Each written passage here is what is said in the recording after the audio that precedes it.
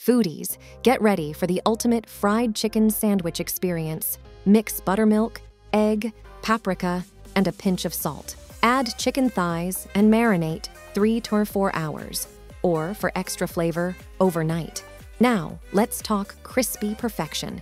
In another bowl, combine flour, baking powder, salt, and seasonings. Generously coat each chicken piece and place them on a wire rack. Heat the oil to 340 Fahrenheit. Fry chicken for 7 or 8 minutes until irresistibly golden and crispy. Add zing with slaw. Mix red cabbage, vinegar, lemon juice, olive oil, sugar, and salt. Chill for 30 minutes.